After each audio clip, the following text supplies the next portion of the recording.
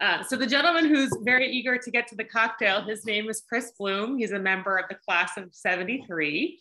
Um, he is an attorney by day, but also a certified trained mixologist who currently serves as counsel to the United States Bartenders Guild and the United States Bartending, Bartending Guild National Charity Foundation. Because the best thing to do is be a bartender and also help your fellow bartenders. So Chris is going to teach us about how to make the quintessential martini. And since you probably want to hear more about that than hear me, I'm going to let Chris take it away. So um, do, do we by any chance have the presentation available or? I just, by the way, just two slides before we make the drink, not, we'll, we'll have a drink first before we do anything too serious.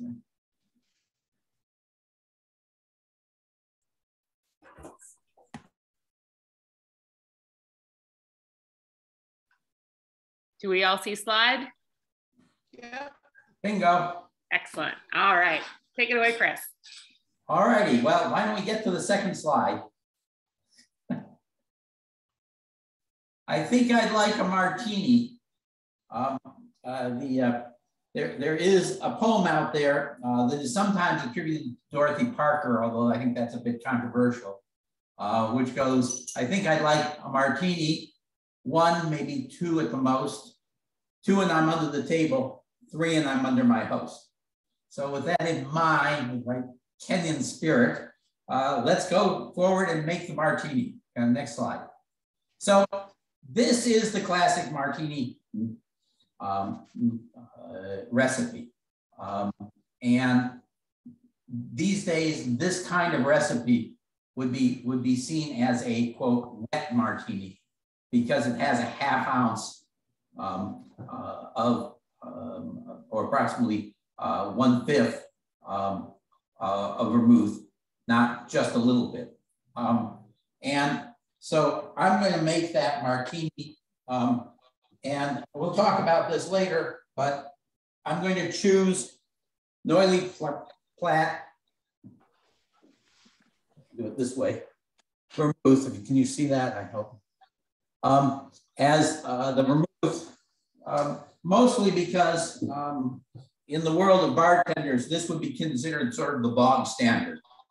Um, also, you should know that vermouth is a wine. So if I, if it's open for more than a week, it's going to go bad. So if you're going to have a wet martini, you have to have it with a fresh bottle. The good news is this is about an eight or nine dollar bottle of vermouth. And as long as you have a couple friends over, it's it's it, it is uh, uh, very competitive. Um, I'm also, I'm going to use, as I was saying before, uh, because this is Philadelphia, a local Philadelphia gin. This is Blue Coat Gin. It's a, it's a, made in Philadelphia. It's an excellent gin. And then, and this is optional and slightly controversial. Um, I'm going to use bitters, and orange bitters is what historically was used. You can go without it, even classically, you can go without it. But I really find that that and the remove gives you a really, really interesting and lovely drink. We'll talk about the history of it a little bit later. And I'm not an olive guy. I really like a lemon twist. So the way you make a lemon twist uh, is that you take a, a channel knife and you and you twist, you get a, a strip and then if you've done it, after you've done it, you can twist it around a spoon like this, and you end up with this wonderful curl, which I'm going to put in as a garnish. So, is this the right recipe? It is certainly the classic recipe. The next question is, how should it be made? Next slide, please. Shaken or stirred?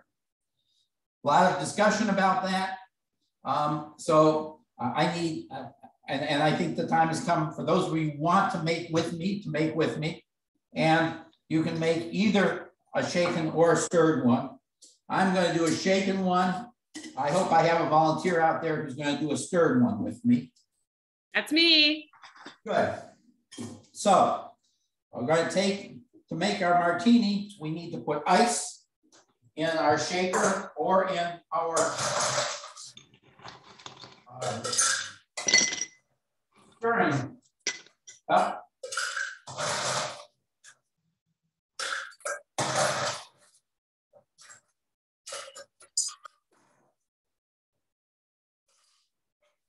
Yeah. So I've got ice in here in the shaker.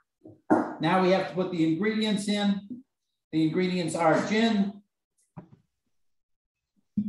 I use measuring cups because I can't do it any other way. These are small measuring cups and I'm going to put two and a half ounces of gin.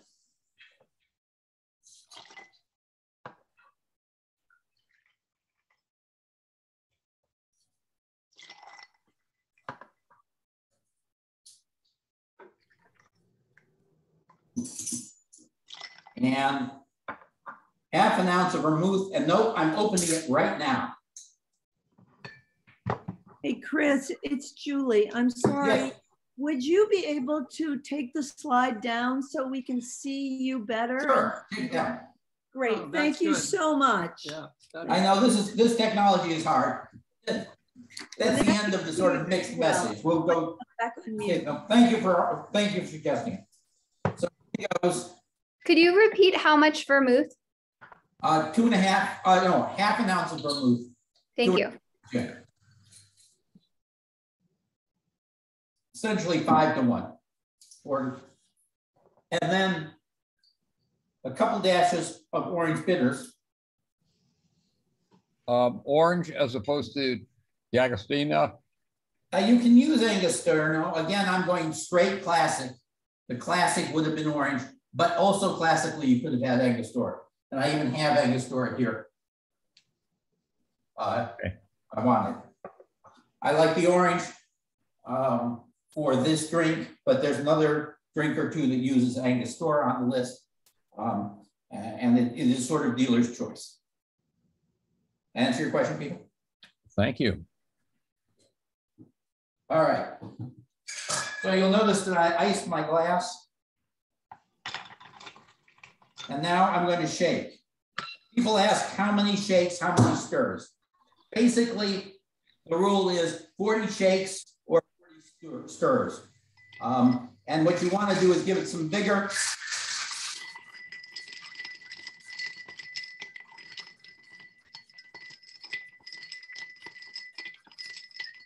And that will shake it up, that'll mix it up right. And that will give us the martini. And this is a shaken martini, just the way James Bond. Ah. Not enough room here, sorry.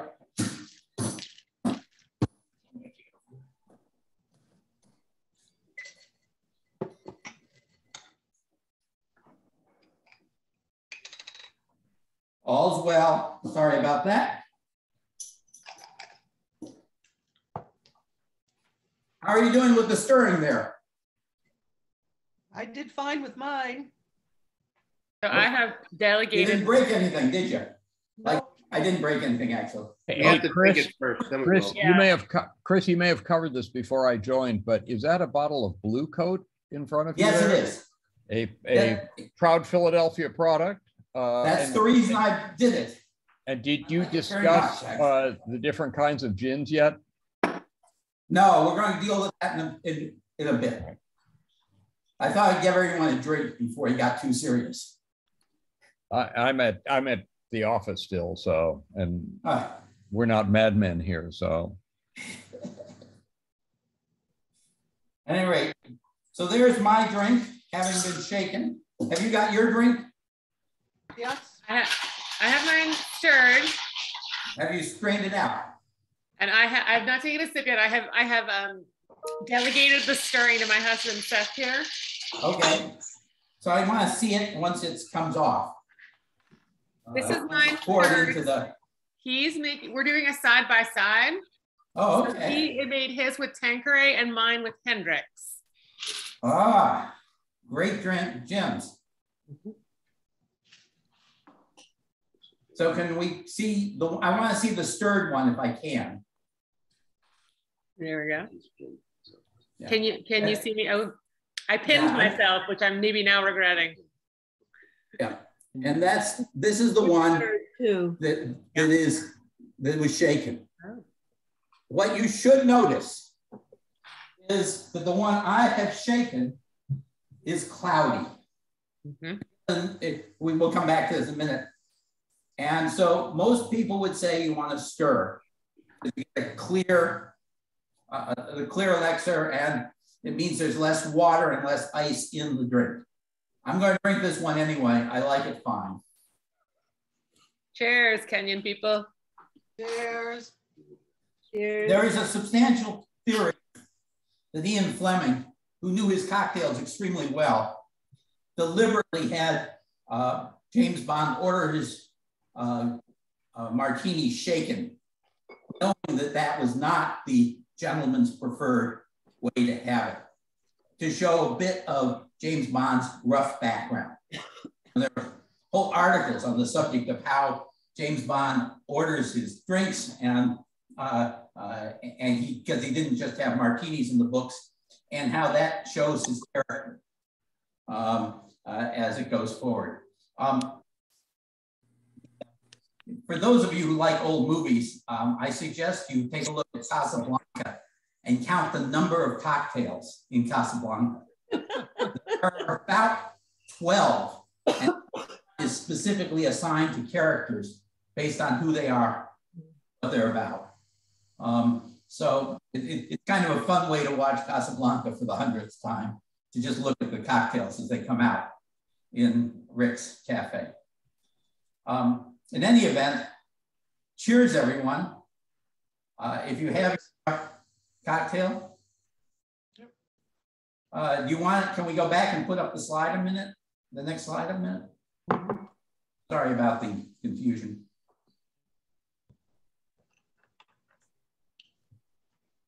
Okay, next slide. So this is literally the difference, the way the two look um, uh, made by a professional um, and, and shows that the difference is the uh, uh, uh, cloudiness of the one that is shaken as opposed to stirred. Um, sorry. Uh, and then can we go to the next slide? So this slide is called Getting to Know You. So we thought we'd take a break, give next slide, please. And we'd like to have each of you at least give your name, your class, and sort of where you're from, uh, where you're in from, uh, before we move on to the rest, because not everybody knows who else is on this call. In, in the interest of smooth intros, I'm going to be the uh, president of introductions. So I'm going to call on everyone in the order you appear in my personal film strip. And I will be your model as well. Don't make another shake right now. Um, I'm Meredith Methley. I'm the class of 2000. Um, this is my husband, Seth Reichgott. He's not a Kenyon alum. He's a I went to Wesleyan. yeah, but we'll let him stick around tonight. Uh, and we are joining from the Germantown section of Philadelphia. Uh, and Julie, you and Jim are next on my list. I'm Julie Miller Vick, class of 73, and this is, Jim Vick, class of 74 I will just add that I believe I first saw Casablanca on a Friday night in Ross at Hall. Rosse Hall. And the audience, and the audience was probably not quiet. Yeah. you were you were not observing the cocktails that night in the way that Chris just suggested, perhaps. By the way, I forgot to put the garnish in. I always make a mistake. In goes my garnish. Sorry. Kristen, you're next for me. Kristen Richardson. Chris Richardson, class of 84. Sorry, you hear me? Uh, Kristen Richardson, class of 84. And I live just up the road from Meredith in Mount Airy. And I also made the stirred version because I don't have a shaker. Kristen, your, your internet signal makes you sound very drunk right now. I just want you to know that in case anyone asks you later if you're really drunk because you were a little delayed, just as a heads up. Next, we feel like all of our Kenyon and Philly people are, are clustered at the front. So Claudia and Colin, you're next. Hi, everyone. I'm Claudia Smith, class of 05. And I'm Oh. Colin Smith, uh, 06. Who's to say I wasn't practicing? oh boy. And uh, we're in Haddonfield, New Jersey, along with Julia and Jim. I like how both the Haddonfield couples have the older woman and the younger man. Yeah. Ugh. So quick, Meredith. Peter Blumfeld, you are next. I'm Peter. I'm also the class of 73, and I'm calling from, I'm zooming in from Center City, Philadelphia, where I both live and work. Awesome. Nice to meet you, Peter. Alan, Nice to meet you. I think you're next. Hi, Al Frigi, class of 73. Uh, Zooming in from Decatur, Illinois, about 180 miles south of Chicago. And it's of note that I've only begun uh, re-drinking gin within the last couple of years after a very unfortunate event during my freshman year at Kenyon. Tell us more. I feel, I feel the same way about rum, Alan, although it was after I graduated, but it was at a Kenyon party. Thanks for joining. Julie Next wa- up, Julie wanted more information. Um, yes. to the best of my recollection, it somehow involved gin and Gatorade, and it wasn't very pleasant. You're supposed to drink the Gatorade after you've had too much gin, not together. Yeah, well, that's not the way it was uh, presented to me. So, Gotcha. Well, welcome, Alan from Decatur.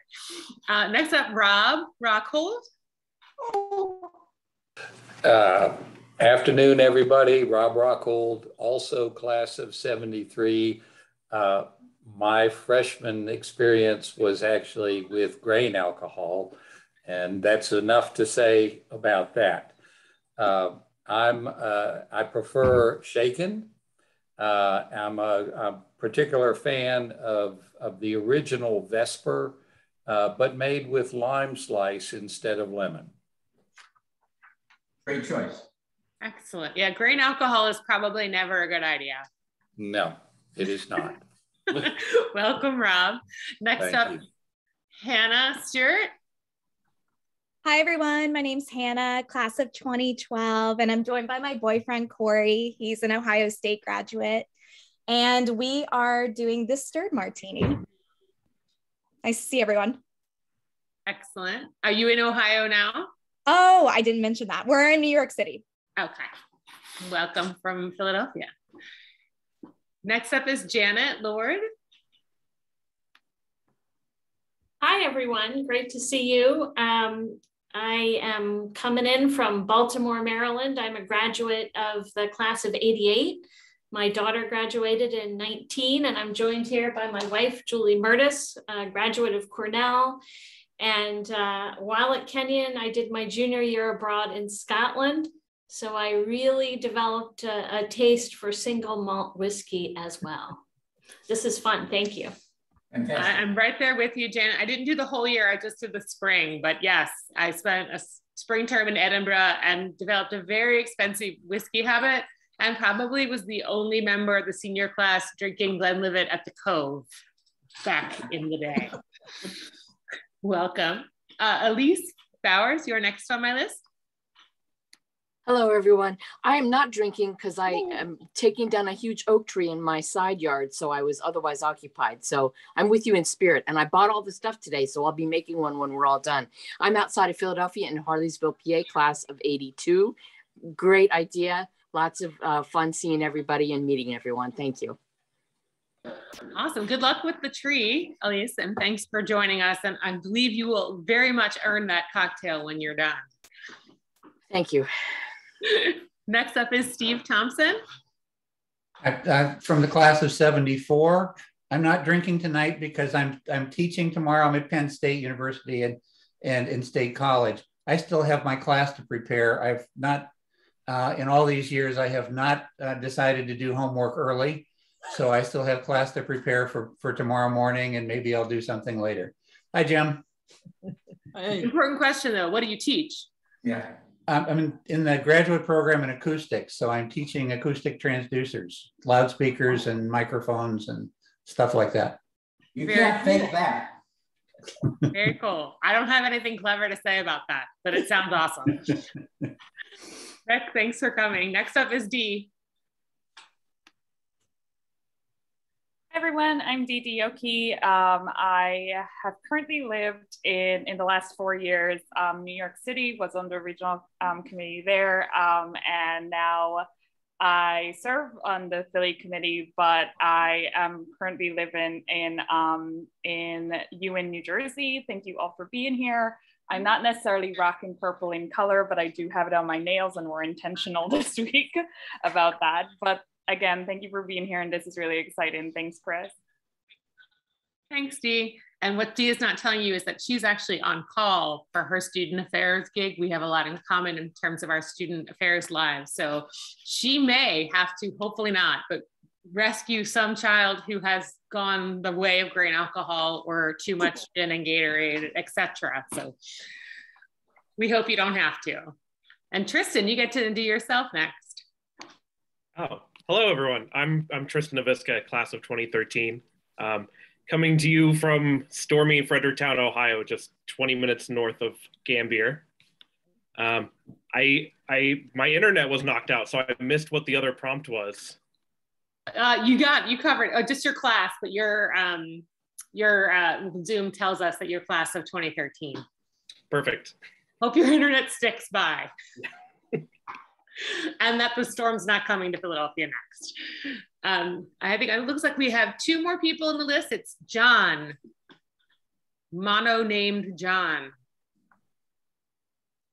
You, you're muted and you don't, oh, no camera or mic. Okay, well, nice to meet you from Cave Creek, Arizona. 1964.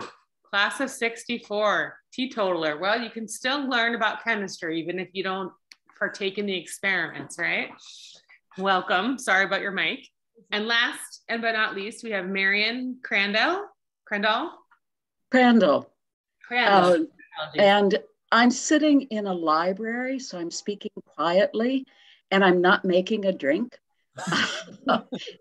not the appropriate location, but I'm um, in Princeton, New Jersey, so a neighbor of um, Dee's. And um, I'm looking forward to making a drink once I get out of the library. Well, when I'm class of 78. Excellent.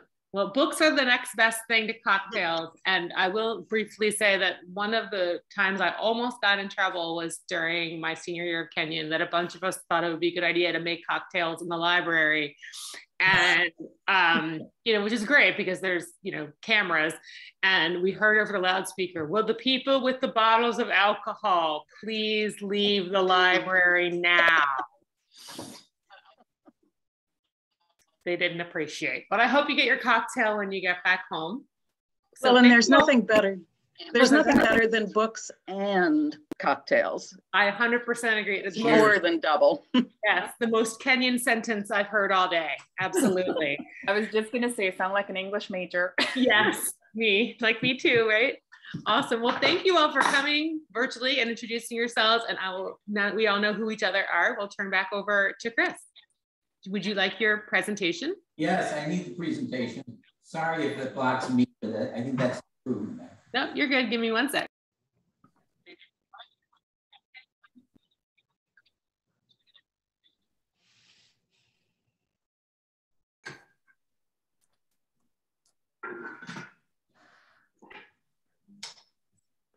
My apologies, I forgot to hit screen share first. You think I would remember how to use Zoom this at this point in a pandemic, but apparently not. There we go. Terrific. So here we go. Uh, I want to talk for a little bit about the coming of the martini and some uh, and how it came to be. Uh, enough so that you can get your um, your credit for this course. Uh, I'm not sure who issues the certificates, but there you have it. All right, next slide, please. So before there were cocktails, there were there was punch. Um, and punch was really the prequel to cocktails. Um, it was the first um, globally popular tipple. Um, and it really was spirit's killer app in our current terms. Um, and up until then, people drank beer and cider and wine. And that really worked until they started to really have to travel long distances because beer and cider and wine don't last for two months in a ship's hold, particularly in an era when there's no refrigeration. And go back, please. Yep. Um, and uh, the need for a new drink became apparent when the East India Company was chartered in 1601. Now, you probably learned about East India Company when you were in college, but you didn't know how it related to drink, and it does in an important way. The first trading mission set sail with four ships, 480 men, and they had to have supplies for those men. Um, we, see some of that right now um, in, in, in, the, in the war that's going on. You know, supplies are everything. So they had four ships and 480 men, and yes, they were men. Sorry about that. That was the Europe. Um, and they had 1,100 tons of freight available in their, in their holds, but they had to use up 420 of them for fermented beverages to feed people on the way to India. And you can see that that's probably a reduction. That, meant that you were going to get only a 60% yield when you got to the other side. Um, so next slide, please. So one has to look at what these this is East India trade routes were. And this is a, a sketch of the trade routes uh, in the 17th, 16th, 17th century uh, by sailboat. The, the bottom left there is just gives you an idea of the sailboats. You've probably been on these. These were 30, 35 foot boats, very deep hulls, but they couldn't hold only so much. And they had to go all the way around Africa to get to India. That was the principal trade route. Uh, we can also talk about Americas, but let's stay with that. And so, so what's going on here is you needed to be able to serve something to drink to all these sailors. And of course, just you can't drink the water uh, salt water, so you have to have it in the hold. Um, and it was much better to be using liquor. It went farther. Um, and you, you could take and mix in it the citruses and the uh, spices that were now coming to back to England from the other explorations to the New World. So by 16, uh, 58, Edward Phillips writes essentially the first uh, English dictionary. Um, and uh, he defines punch for the first time. And it's a kind of Indian drink, which is a clue to the fact that punch was really related to this trade with India. Next slide, please. What was what did punch have in it? The, the punch of, of that era had a bunch of five elements. It had spirits, uh, alcohol of some sort, water, sugar, citrus juice, and some spice. Nutmeg was the usual one, but it could be any spice. And the way this came down was strong, weak, sweet, sour spice. And a popular um, uh, song of that era said, You may talk of brisk claret, sing praises of sherry, Speak well of old hock mum cider and perry, but you must drink punch if you mean to be merry. Those other, um, uh, if you don't know what old hock and mum and cider and perry, um, that these, these are equivalents of apple cider. Um, perry is uh, a cider made from um, pears. Um, and more of like closer to a beer today. But punch, punch had a real spirit in it. Next, please. Slowly, but not, but inevitably, punch became popular because of its association with the British Navy. Excuse me, I need a drink. Cheers. and I really love this quote from Alexander Pope, who some of you would have studied at Kenyon, um, because you wouldn't have thought this, but he got an invitation to attend a punch party, well, a party, but punch was going to be served um, on a, a, a British uh, ship of the line in London. And this was a very big honor. And he, he responded to the to, to Lord Peterborough in 1732, I decline no danger where the glory of Great Britain is concerned and will contribute to empty the largest bowl of punch that shall be rigged out on such an occasion. But if Alexander Pope is talking that way, everyone's talking about it. That was the best invitation. That was like the Grammys and the Oscars combined. Although the Oscars, who knows? Anyhow, that, that 1732, so by then, punch was clearly the thing. Next slide, please. So how do we get to cocktail? Well, of course, we decided to, to, to, to revolt from the Brits. Um, and shortly after the revolution in 1806, we first see the, the, uh, uh, the picture in the upper corner is uh, the, a newspaper account for a cocktail. And that cocktail essentially follows the form of what we what today what today we would call an old fashioned. So springing forward and coming back by the 1870s and 1880s, lots of different cocktails. A lot of them had lots of sweet and frou-frou ingredients. And people would go into bars and say, I don't want any of that newfangled stuff. Give me one of those old fashioned cocktails, meaning from the beginning of the 1800s. And what did it have? It had was a punch with strong spirits, water, sugar, citrus, bitters. You see again, strong, weak, sweet, sour, spice. The difference between cocktail and punch was that punch was made in a bowl in big quantities. Um, usually in punch houses, by the way, it was the one job a woman could get that was, was respectable.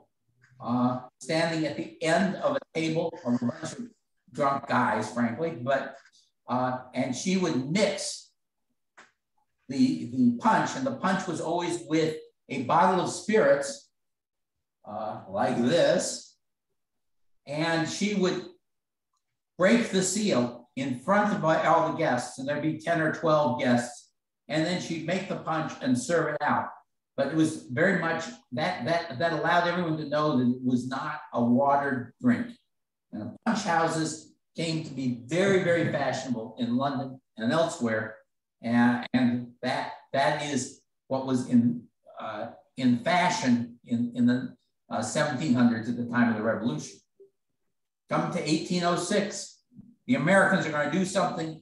They're going to make it a single glass pour. It's going to be fast and it's going to be customized in the American way. You can have gin, you can have rum, you can have lime, you can have this spice, you can have what you want. We're going to make punch in a glass. By the way, I think it's the only contribution America ever really made to culinary, the culinary uh, activities in the world. Next slide, please. so that's sort of that background. I want to take you to what is in the drink. Next slide, please. Hmm. Alcohol. Yep, got it.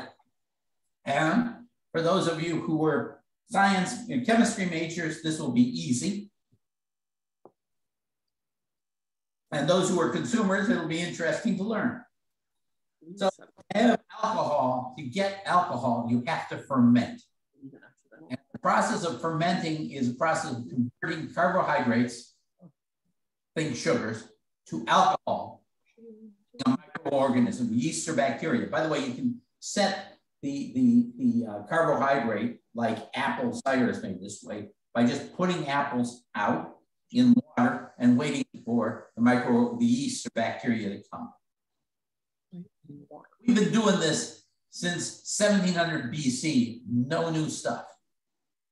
But to get alcohol, you have to take that fermented mash and separate out the alcohol from that mash. And if, for those of you who want the chemical formulation, there it is. Uh, basically, you're taking the carbohydrate, which is on the left, you add some water, you heat it, and you get a, a reaction come out with 2C2H5OH, which is alcohol, and then you get some CO2. So if any of you have ever been to, to a distillery, you will find, smell an awful lot of CO2 uh, because that's the waste product. By the way, the environmentalists have a lot to say about this more later. Um, but doing this results in all sorts of things. Everything you think of, mead, cider, bitter wine. Um, but the distillation will separate the alcohol from the fermented. Next slide, please. And to do that, you have to distill. This is a friend of mine uh, who owns North Shore Distillery, uh, a really great um, uh, small um, producer, uh, actually quite similar in some ways, not uh, I won't get into quality distinctions to, to what is done by Blue Coat, and that's a pot still. And the pot still, without going into too much detail, but you can see on the diagram, the pot still takes the, the mash, uh, which uh, in the left, you heat it to 172 degrees Fahrenheit and 172 degrees Fahrenheit. Alcohol boils uh, and, and, and becomes what you'd think of as mist, but the water remains behind. You go up, it goes up to the cap, you have a condensate, and that gives you um, uh, the more pure alcohol. Next slide, please. Next slide. There it is. In 18, uh, in, in 1830, a man named Coffey, C O F F E Y, you can see his picture there, invented what is called the patent still or continuous distillation. On the right, you see literally the picture of his first commercially successful still, and because I'm an IP lawyer, a copy of the patent that he filed for that. On the left, you will find, you, you see a modern ethanol plant constructed by the firm he founded in 1835 and still in business today.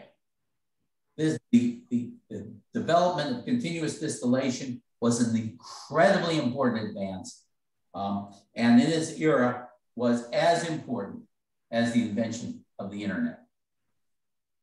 Next slide, please. So let's talk about the ingredients. Don't worry, there's no final on this, but at least you should know it. Um, what is gin? Gin is a distillation from mash with or over juniper berries. The important thing in gin is it has to have a predominance of juniper, juniper flavoring. It can include other aromatics, um, but in the US, it must be at least 80 proof. 80 proof is percent by volume. This is the moment where I get another drink. There is a huge controversy about what proof should be. Historically, proof was a proof in the British Navy. And the proof in the British Navy was that the purser was not cheating the sailors. And there was a ceremony every night or every other night on the deck of a ship where the sailors appointed one of their number to go up and watch as the purser put gunpowder on a plate, on a plate with a little bit of the uh, alcohol he, he, he was going to serve. And the, they would touch a flame to the gunpowder. And if the, if the gunpowder went off and the, and, and the alcohol was lit, it was said to be proved. And everyone firmly believed, and it probably is true, that if they didn't have 100 proof um, uh, alcohol, it wouldn't burn. Man, there was simple solutions at sea for pursers who couldn't get this to happen because the purser would not have to complete the rest of the voyage. Uh, so this was a very important moment. Um, so in talking about proof, one has to distinguish between, so, so today we have proof, let's just take Tanqueray here. Tanqueray is going to say what its proof is, but it's going to be alcohol by volume. Alcohol by volume is different from alcohol by, um, uh, by weight. Um, and uh, essentially 100 proof um, is a specific gravity of 12 13ths, essentially 57.15. So if you want to know what proof people used to drink gin at, it was at 57.15 alcohol by volume. Americans have always dealt by alcohol by volume. The Brits, until about 30 years ago, did it by uh, specific gravity. And you can drink several drinks discussing what's better. But today, alcohol by volume is what people deal with. So 40% alcohol by volume is actually lower than what uh, than what most gin goes out at. And I personally think gin with higher alcohol by volume, well made, is, is, is a better product. Not always true. Vodka, however, wants to be 40% alcohol by volume. I'm not going to go into that now, but I'm happy to discuss that, that the basis of that theory. Next. So gin styles. This is complicated because there are different gins, but the gin you think of and is usually used in making a martini is, is what is called London dry gin. That is what Blue Coat is. That is what Tanqueray is. That is what Beefeater is. That is what classic gin um, and it's a London dry style. It doesn't mean it comes from London. It means it's the style. Huh. Yeah. Sorry. The, the, the, there are other styles of gin, many of them, but worth, worth mentioning, and I don't know if I have any, I'll give, I'll, I'll give you a minute.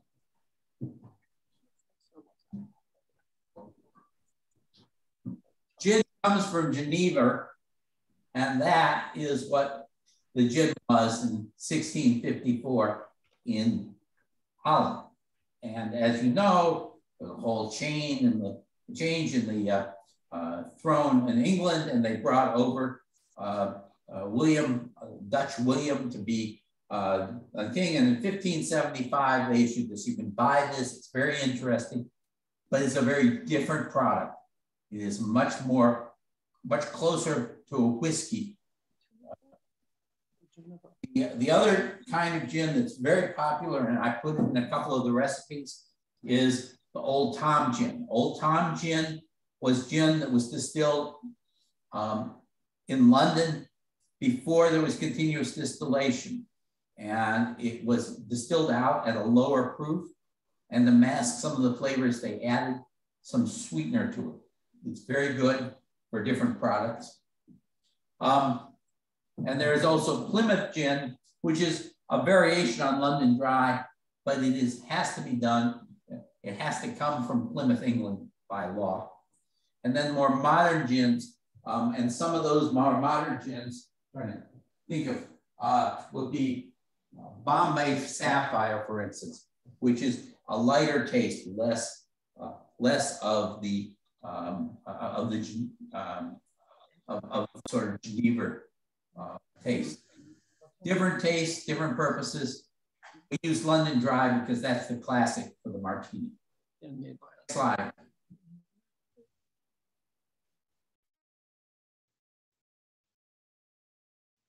So there is a picture of a bunch of the gins I have on my shelves.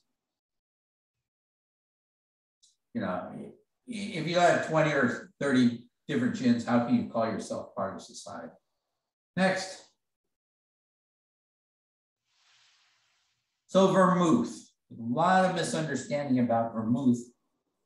Um, but vermouth um, is essentially, if you will, a, a brandy. It's a fermented grapes, which have been fortified with a distilled spirit and have some spice ingredients. They have to use wormwood as a bittering agent just by definition.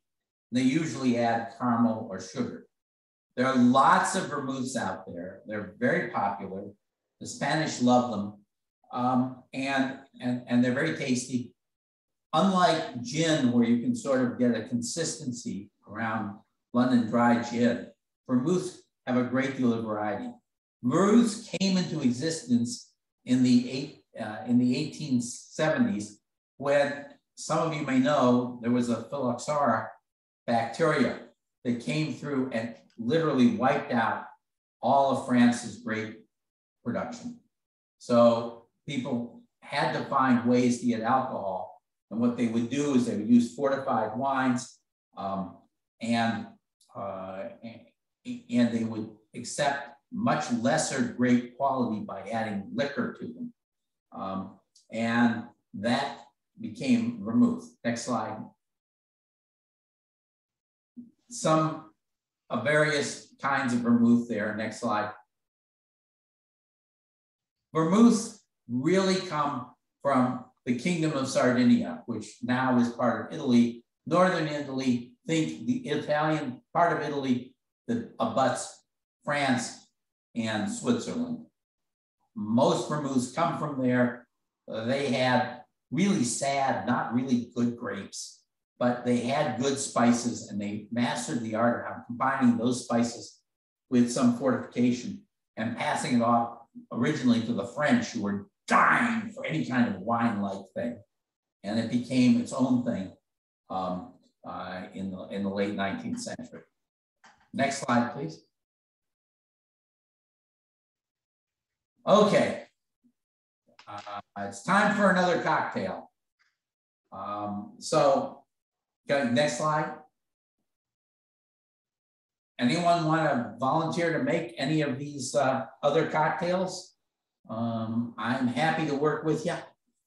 Uh, I know some of you actually made a couple of them earlier. We can talk about that. Um, I was going to try a South Side. Oh, the South Side's great. Who, who wants to do that? You going to do it? Sure. Okay, I'll, I'm going to get some lime. I'm going to make it with you. What's in the south side? It's uh, gin, lime juice, simple syrup, and mint. Ooh, I think I have all of those things. You sound you sound sober again. I know it's kind of funny actually. You're getting ready to make your next drink and you sound sober. And we're right there with you, Kristen. We're gonna make one as well. Okay. Okay. That's a fun. The Southside is a great cocktail. Um, and, and it is the house cocktail um, of, sorry, uh, the 21 Club in New York. I don't know if any of you have been there. And unfortunately, right now, the 21 Club is um, closed. I don't know why they're closed, but they're closed. Um, it's, a, it's a pandemic thing. But I'm going to make it. I forgot. I need to get a knife. Sorry.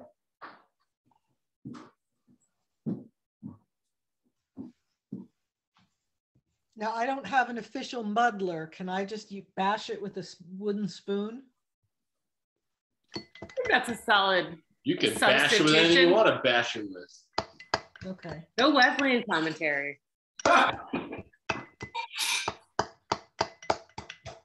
So 21 Club claims it comes from Connecticut, okay? And you guys from Philadelphia are, look, are probably used to these stupid claims that are made by the New Yorkers, right?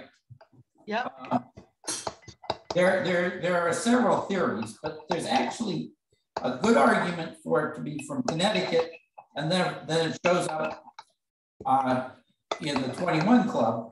But there's another argument, and the one that I like, which is that it meant, referred to the south side of Chicago, because we're talking about a, a Prohibition era cocktail. And, you know, one of our Chicago friends, haha, um, specifically home. And uh, I, he was from the South Side, and there's no particular reason to assume that people, when they referred to the South Side in Prohibition, were referring to a posh country club in Connecticut, when they could have been referring to the South Side of Chicago, where Al Capone was killing people and ruled the bar world. Uh, being a I like the theory of Chicago. Uh, one of the best historians of cocktails, a guy named David Wondrich, who, by the way, I've talked to about this. He's written some books, and he has actually, he actually thinks it was Connecticut. Um, but he's a damn New Yorker, so what the hell? Why should I worry about him? He has a PhD from English in English from NYU, but that's NYU, you know. Um, anyway, I've talked to him about this. Yeah. Um, he, he thinks the evidence favors uh, New York, um, but he would agree that we can't figure out what it is. So I've just squeezed fresh lime juice in here. Um, I'm going to put in some sweetener, about a half ounce. And I realized I've got one other thing. Sorry about that. Normally I have this out. I didn't think about this drink. I love it though. Hold on. Need mint.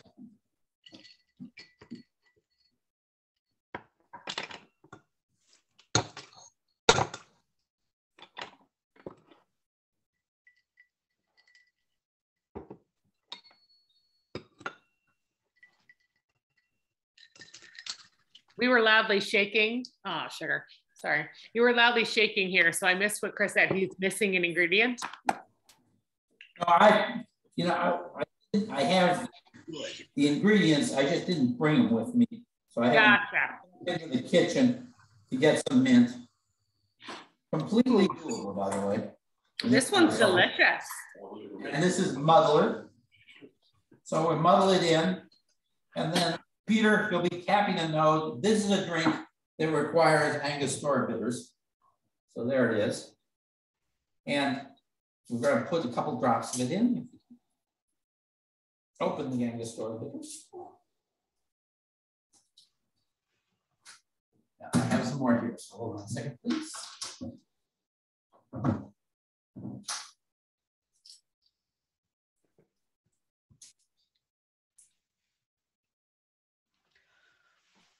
A very interesting flavor. And I imagine it varies depending on the kind of mint you have and the kind of lime you have. Yes, it does somewhat. Um, you know, and, and, and people are have more distinct um, tastes than I do on this. I'm going to use Tanqueray just for fun. Um, again, this is a very classic cocktail um, and was very popular uh, in the Prohibition era and post-Prohibition. So I'm tossing in some gin. And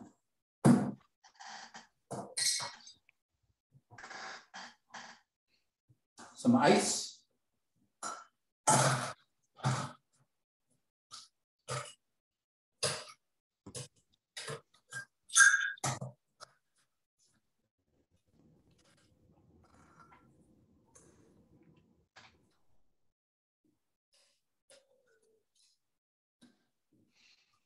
Need to get a fresh um, glass for this. not a problem.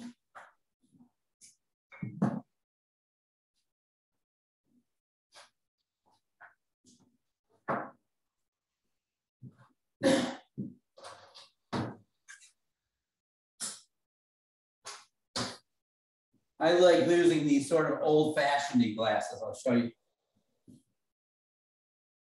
The Depression era glass. Um, for this drink, it seems particularly good. Again, it's 40 drink, it's 40 shapes, right?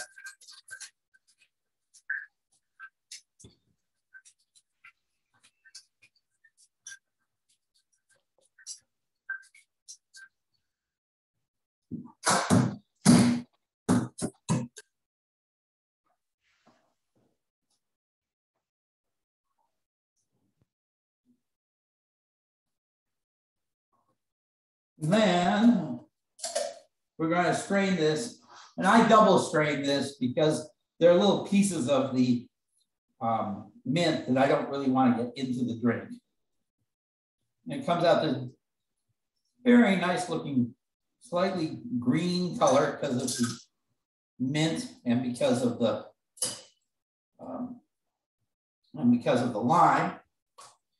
And then you're going to do this right, and you should do it right. You're going to want to add some sort of a garnish. And in my world, that would be a lovely piece of mint, like so. I'm going to slap it just to get the aeration. And that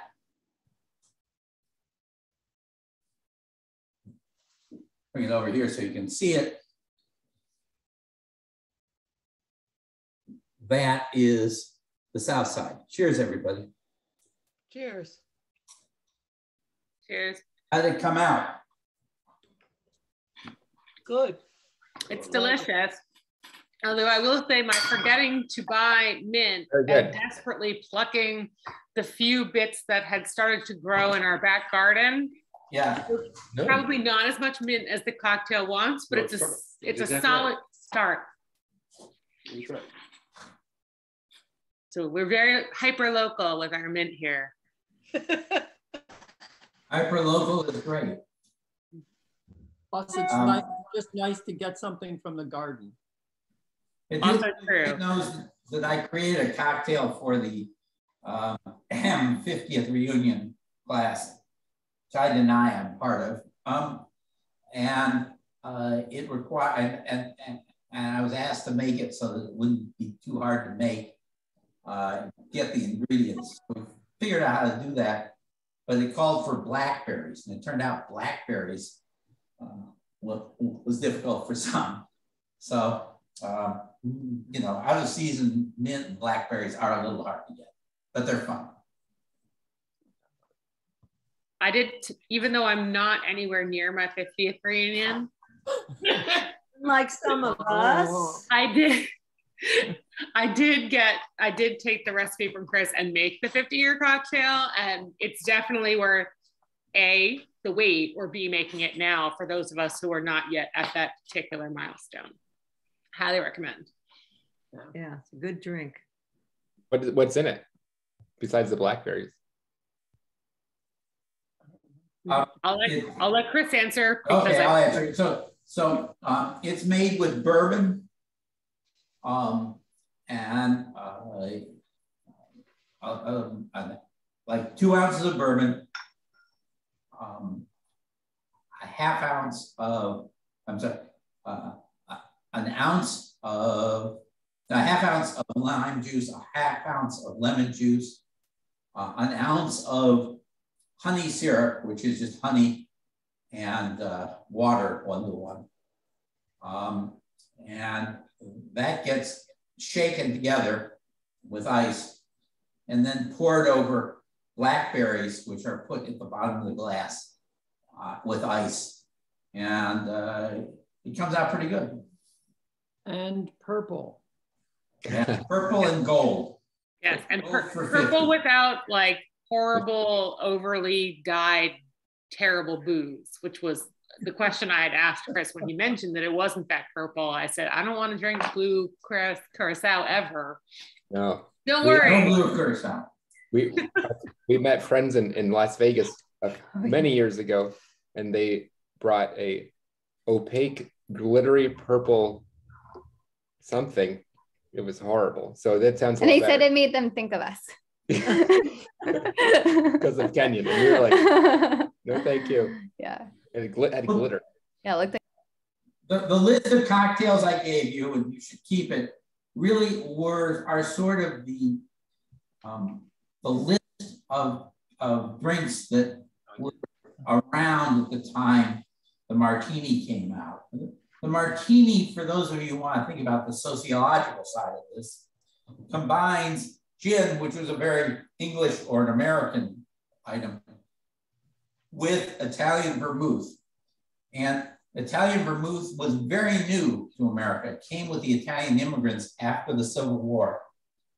Huge, huge in, implosion of Italian immigrants into um, New York in particular um, from 1870 to 1910. I mean, millions and millions. You saw that if you saw The Godfather. and they end up in New York, and the bartenders in New York are just madly looking for new ingredients. And these Italian immigrants bring with them uh, this vermouth. And so the there are a number of things. So you probably have heard of the Manhattan. That is also a combination of vermouth, but it is a combination of vermouth and whiskey. So uh, again, uh, a melting pot kind of drink, just like the martini. Here in Philadelphia, for those of you who have spent time in South Philly, there's a restaurant called Mama Maria's on East, on East Passyunk Ave. And Mama Maria makes her own uh, cordials in the basement, including limoncello of different kinds. And many years ago, we had gone there, and the, her daughter was one of our servers.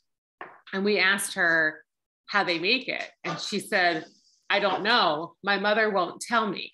her mother at that point was definitely like social security eligible. So not the youngest of folks. And she said, yeah, we keep telling her she's gonna have to tell us the recipe eventually, or this is gonna go with her. Now that was 2006, so I don't know what the status is with Mama Maria. She's still making her limoncello and not sharing the recipe, but it The restaurant's was still open. the restaurant's still there. Um, and she made a limoncello, like a lemon limoncello with cream and a, a whole bunch of different milk and and arancino. It was really cold. spectacular. Ice cold. Yep. I, I tried to make limoncello and it was an abject failure. So I think I will leave it to the professionals.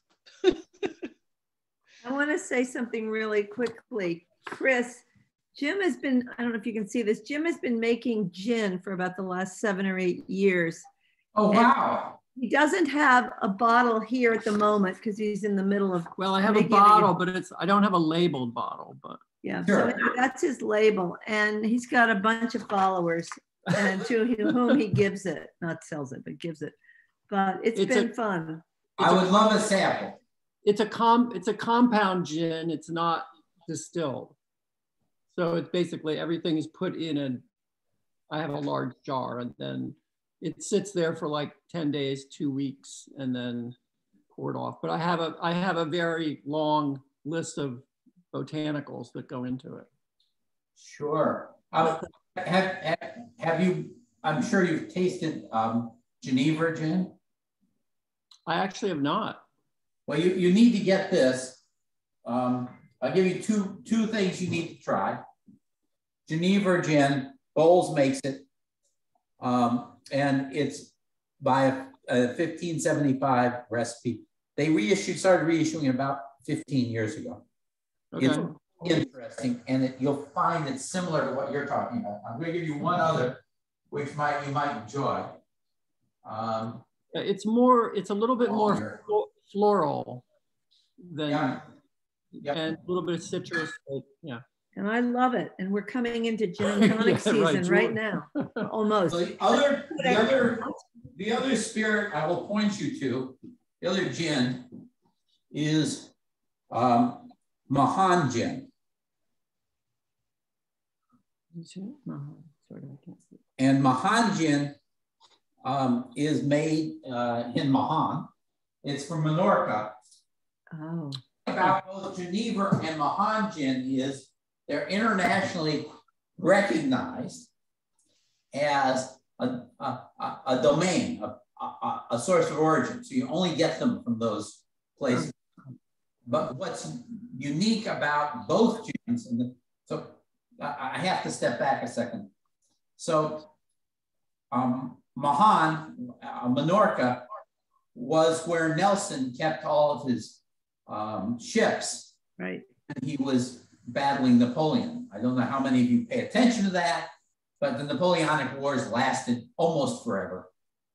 And the Brits um, were trying to attack the French, and they thought it was a really clever idea to attack them from the Mediterranean, not across the North Sea. They had managed to work out this deal where they had these islands um, uh, just south of Marseille that were part of Spain, but got sort of acquired by the Brits. And um, in the interest of, of, of, liquor research, I've gone there. Of course. and, and if you so, ever need someone to take notes, I'd be happy to go too. and, and so if you go there, and it, by the way, absolutely well worth the detour. Look it up, go there. It's beautiful. The deepest water port in the Mediterranean. Wow. Nelson and the Brits owned it until after the Second World War. Strategically, it was so important. Um, the Battle of Trafalgar happens by from boats who sail from there to fight the combined fleet, and it's a one-day sail to Trafalgar. To give you a sense of important strategically this is. But the Brits were there for 180 years. So the locals said, What do you want to drink? And they said, Gin. So the locals went up to Holland to learn how to make gin. So the, the gin that they make, this on gin, which is now in the United States, hasn't been for a long time, but is now in the United States, was based upon a 200 year old recipes from, from, uh, uh, from Holland. And if you're this, you really should taste it. It's made more like a whiskey, a little more like you're making it, more a matter of, of bringing it up to a distillation percentage, unlike modern gins, which are made like Beefeater or um, a Tanqueray, which are done through, through column stills, where they're getting essentially vodka. They create vodka and then they put the ingredients into it, either by maceration or um, other methods, and you get a taste from it. This, the, the, the herbs and, and spices are put in, they heat it up essentially, and they then create uh, a whiskey and pull it off at 140 proof. So it's a very interesting, I think it's probably similar to how you're making yours, uh, and you might enjoy that. It's a yeah. different kind of gin. It's Geneva or Mahón gin. Great, thanks. Thank you. Probably more than enough, but if, if you're looking for a vacation spot in the middle of the Mediterranean, where all the rich people go. By the way, just one more point. I don't know if you heard about the, the uh, Russian um, oligarch uh, who had uh, one of his ships sunk by one by the first mate. Um, this was news about four or five weeks ago, mm. where, where the, the, guy who worked for him um, was, uh, in fact, um, loyal to his country, which was not Russia, of course.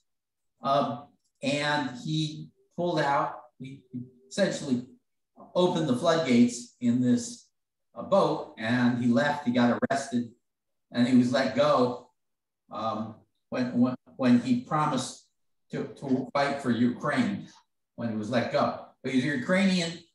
Uh, he ran an, a boat and they sunk the boat. The important thing about this is It was in Minorca that he sunk that boat. So it was right. Yeah. So I can bring you 300 years or 250 years to current events in one drink. That's great. That's an impressive 300 years of history in one drink.